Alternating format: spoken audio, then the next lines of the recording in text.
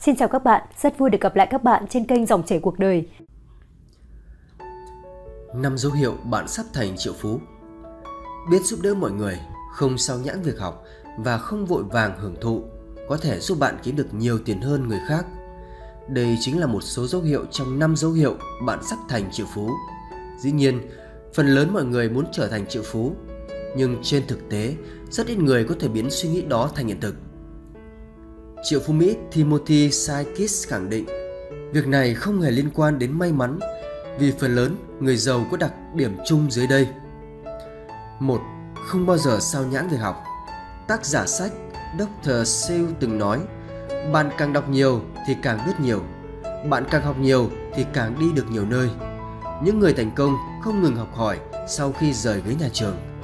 Họ là những người học cả đời, họ luôn muốn mở rộng kiến thức vì biết nó sẽ làm tăng khả năng thành công. Người thành công nhận thức được họ vẫn chưa hiểu biết đủ về một thứ gì đó và có động lực cao hơn. Điều này cho phép họ vừa củng cố điểm mạnh vừa cải thiện điểm yếu. Theo thời gian, nó sẽ giúp họ thông minh hơn và dễ thích nghi hơn. Đây là sự kết hợp tuyệt vời để tiến lên phía trước. 2. Nghĩ cho bản thân mình Tại sao phải giống người khác khi bạn sinh ra là để nổi bật? Rất hiếm triệu phú bó mình vào khuôn khổ. Không phải họ cố tình thích khác người, mà là họ quá bận điệu với con đường riêng và chẳng bận tâm đến việc người khác nghĩ gì. Bill Gates, Mark Zuckerberg và Steve Jobs đều là những ví dụ tuyệt vời cho đặc điểm này. Nếu không có khả năng nghĩ cho bản thân và chỉ muốn giống người khác, họ sẽ không bao giờ đạt được thành tựu như vậy. Bằng việc suy nghĩ khác biệt và tập trung cho mục tiêu, họ có thể tạo ra những con đường khó tin để thành công. 3. Trì hoãn sự hưởng thụ Làm triệu phú nhiều khi cũng chẳng vui vẻ cho lắm. Họ tiết kiệm nhưng không hà tiện. Họ có tầm nhìn và suy nghĩ trong dài hạn. Họ hạn chế hưởng thụ hiện tại vì nhìn thấy lợi ích của việc cải thiện tình hình sau này. Ví dụ, một người đang kinh doanh thành công có thể đủ tiền mua du thuyền, tuy nhiên, thay vì mua bây giờ, họ có thể tái đầu tư vào việc kinh doanh. Quan điểm của họ là tiết kiệm bây giờ thì có thể cải thiện tài chính chung sau này. Khi đó, nếu mọi việc diễn biến tốt, họ có thể mua du thuyền còn lớn hơn. 4. Có đam mê Các triệu phú và tỷ phú hiếm khi làm việc thuần túy vì tiền. Như Warren Buffett từng nói, tiền bạc là sản phẩm phụ khi tôi làm cực kỳ tốt điều mình thích. Điều này không hề sáo rỗng, tiền không phải là tất cả.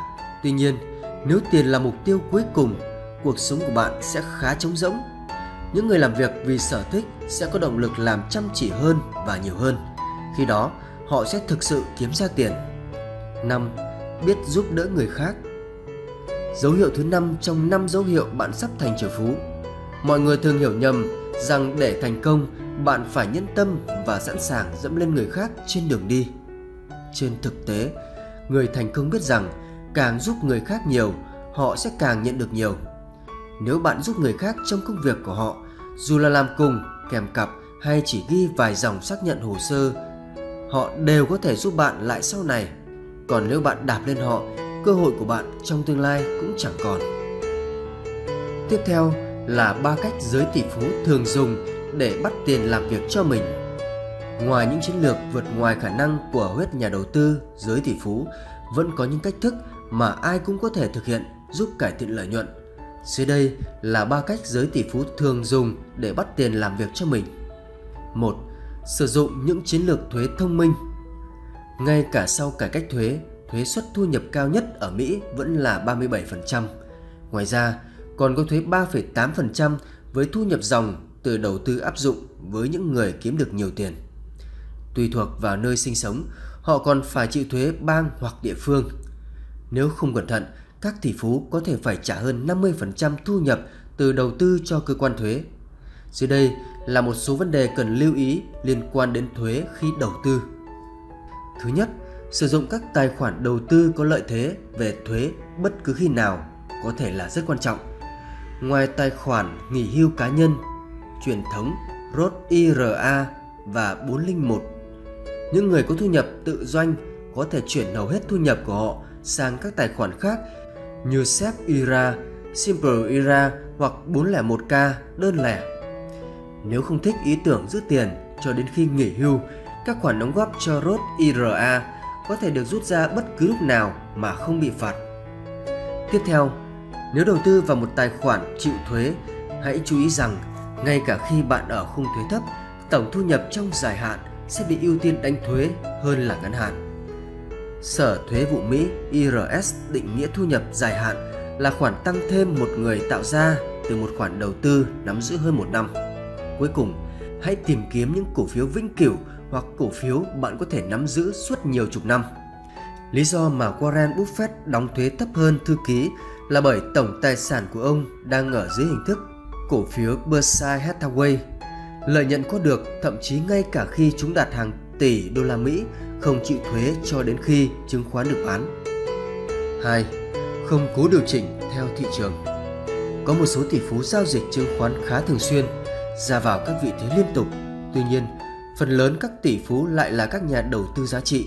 Họ biết cách chắc chắn để kiếm tiền từ cổ phiếu là nắm giữ khoản đầu tư này trong thời gian dài và để thị trường làm việc của nó.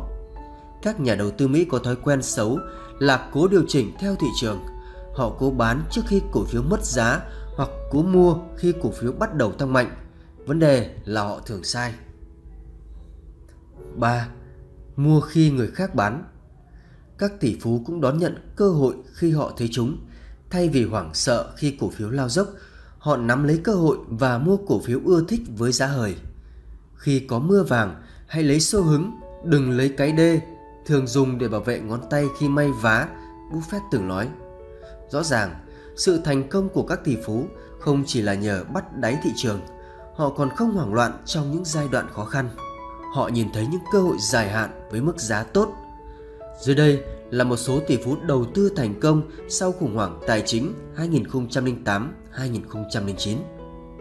Tỷ phú quản lý quỹ phòng hộ Bill Ackman của Pershing Square đầu tư 60 triệu đô la Mỹ vào quỹ tín thác bất động sản GGP khi họ gặp rắc rối và thu về 1,6 tỷ đô la Mỹ.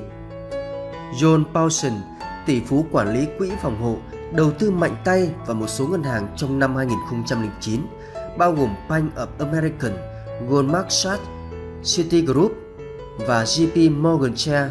Tất cả đều mang lại những khoản lời lớn. Tỷ phú Warren Buffett cũng đầu tư một số khoản vào lĩnh vực tài chính như cổ phiếu ưu đãi tại Goldman Sachs, đặc biệt khoản đầu tư vào Bank of America đã đưa Berkshire Hathaway thành cổ đông lớn nhất của ngân hàng này. Và sau đây là năm chiến lược giúp người giàu càng giàu có hơn. Người giàu không lãng phí thời gian khắc phục điểm yếu, chỉ tập trung vào điểm mạnh và làm việc chăm chỉ hơn bất cứ ai. 1. Làm việc theo mục tiêu dài hạn. Mục tiêu dài hạn sẽ mất tối thiểu từ 1 đến 5 năm mới hoàn thành.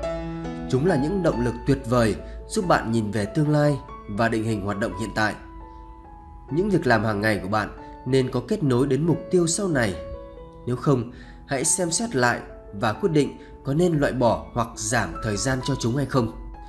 Để luôn tập trung vào mục tiêu dài hạn, bạn cần thiết lập hạn chót, đặt ghi chú trên điện thoại, máy tính hoặc bất kỳ nơi nào dễ nhìn thấy. 2. Thừa nhận điểm yếu và thuê ngoài. Người giàu biết rằng tận dụng điểm mạnh sẽ giúp họ làm việc năng suất hơn. Họ không lãng phí thời gian khắc phục điểm yếu. Thay vào đó, họ thừa nhận chúng, thuê người khác làm việc này và chỉ làm việc họ yêu thích. Kể cả trong thời kỳ kinh tế đi xuống, việc thuê ngoài cũng rất phổ biến. Tốc độ thay đổi trong ngành công nghệ được dự báo sẽ tiếp tục đẩy mạnh nhu cầu này. 3.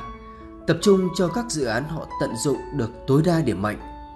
Những người giàu có và thành công không bao giờ bắt tay làm việc mà không có kế hoạch. Một kế hoạch hoàn hảo không chỉ liệt kê mục tiêu. Những mục tiêu đó còn cần được lựa chọn kỹ lưỡng, tập trung vào các đích lớn khả thi và đúng sở trường. Người giàu ngày càng giàu nhờ họ biết điểm mạnh của mình là gì và dồn toàn bộ nỗ lực vào đó. Họ không muốn lãng phí thời gian cho những gì mình không làm tốt. 4. Theo đuổi đam mê và làm việc chăm chỉ hơn tất cả mọi người. Người bình thường tin rằng người giàu lúc nào cũng làm việc. Đó là sự thật. Tuy nhiên, điểm khác biệt là họ tìm thích đam mê của mình và theo đuổi nó. Họ không cảm thấy mình đang làm việc vì họ làm thứ mình yêu thích và được trả tiền cho nó. Trong khi đó, người bình thường đánh đồng việc kiếm tiền với làm việc chăm chỉ, bất kể là về tinh thần hay sức lực. 5. Luôn cố gắng làm tốt hơn kể cả khi đã đạt được mục tiêu. Người giàu không bao giờ ngủ quên trên chiến thắng. Đây là rào cản chính khiến phần lớn mọi người không thể giàu. Người bình thường đặt mục tiêu, đạt được chúng và ngồi hưởng thụ. Người giàu thì không bao giờ từ bỏ. Một khi họ đã đạt được mục tiêu này, họ sẽ đặt thêm vài cái khác để cải thiện bản thân. Họ thách thức mình vượt qua các giới hạn. Người giàu biết rằng họ luôn có nhiều thứ cần học, nhiều điều cần hoàn thành và có thể kiếm nhiều tiền hơn nữa.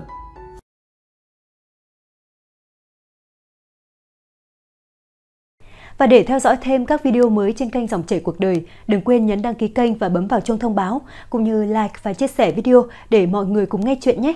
Còn bây giờ, xin kính chào tạm biệt và hẹn gặp lại.